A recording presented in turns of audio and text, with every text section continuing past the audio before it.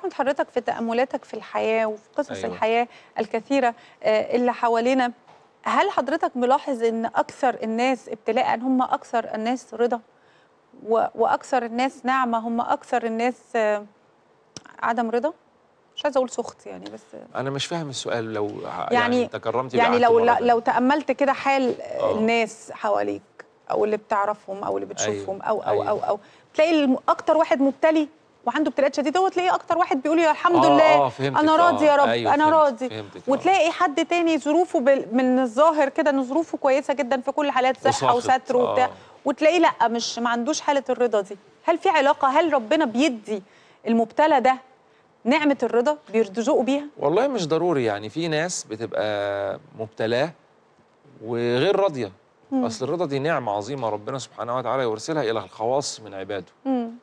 وفي ناس بتبقى ربنا فاتح عليها وكذلك يعني من يعني من, من أحسن الناس خلقا ومن أطيب الناس قلبا ومن أطهر الناس نفسا. مفيش تلازم بين الابتلاء والفقر ونحو هذا والرضا والطيبة ولا في ت- تلازم بين الغنى نعم. والعطاء وال نعم. وال والحياة الواسعة نعم وبين الشر أو السخط نعم. هل رضانا عن عن حياتنا ورضانا عن كل أمور الحياة اللي فيها هل ليها علاقة برضا ربنا علينا؟ ما هو إذا رضي الله عن عبده وفقه إلى الطاعات وإذا رضي الله عن عبده وفقه إلى أسباب رضاه وأكتر مم. ومن أسباب رضا ربنا سبحانه وتعالى عن الإنسان إنه يكون راضي. رضي الله عنهم ورضوا عنه. نعم. ولما ربنا سبحانه وتعالى تكلم عن ال- ال- ال- النفس الطيبة لا تدخل الجنة يا أيتها النفس المطمئنة. ارجعي إلى ربك راضية مرضية. راضية يعني راضية بأقدار الله وراضية بما قسمه الله. ويعني شوفي حضرتك ويعني إيه مرضية؟ ربنا رضاها بقى. يعني الله. يعني جازاها برضاها أنا راضي عنها. الله.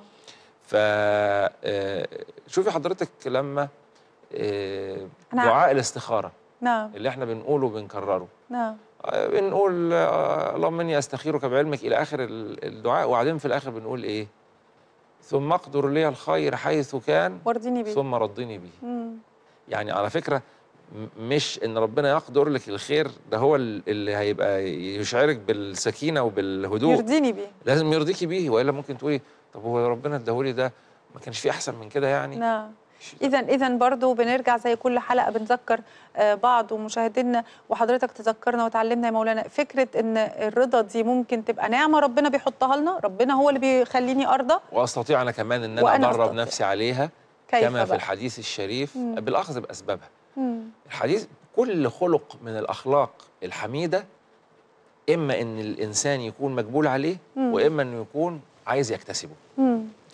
إذا اكتسبه في إجراءات يمشي فيها يكتسبه إنما العلم بالتعلم والحلم بالتحلم والصبر بالتصبر مم.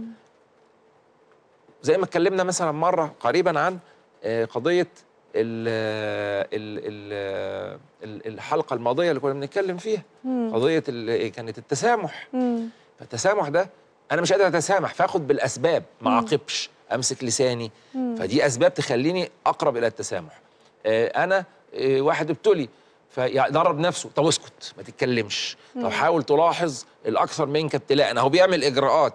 طب حاول تلاحظ إن يمكن ربنا وعسى أن تكرهوا شيئا ويجعل الله فيه خيرا كثيرا. وعسى أن تكرهوا شيئا وهو آه، خير لكم. يمكن الخير في الحاصل يقعد طب يصبر نفسه ربنا عشان يرضى. حصل معايا زمان وأنا صغير الشيء الفلاني وكنت متضايق وبعدين بان إن هو ده الخير فيه. يقعد يصبر نفسه. فيدرب نفسه على كده. الصبر بالتصبر فيرضى. وعمر